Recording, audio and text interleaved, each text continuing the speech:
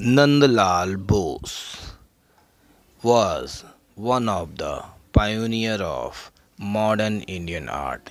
He was known for his Indian style of painting. He was born on 3rd December 1882 in Munger, Kharagpur district in Bihar state. Nandlal was very keen in painting and sculpture from his childhood.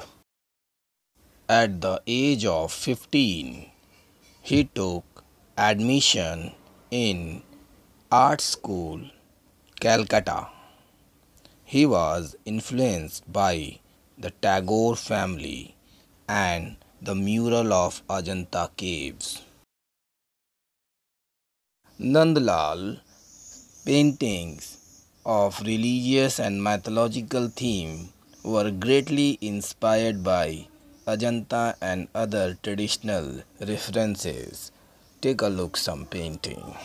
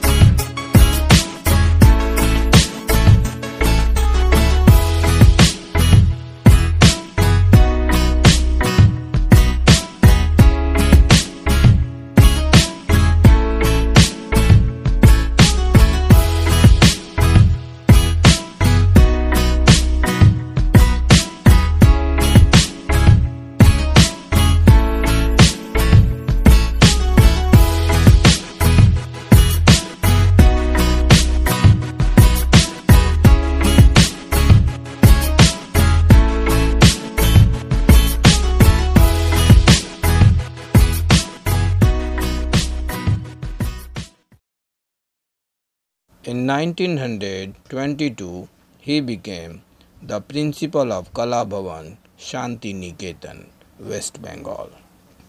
Nandlal has decorated the first edition of Indian Constitution and designed the Indian government awards like Bharat Ratna, Padma Bhushan, Padma Shri, etc.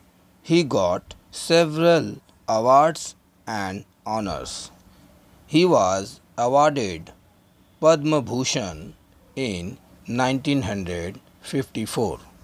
Nandlal Bose died on April 16, 1966 at the age of 83.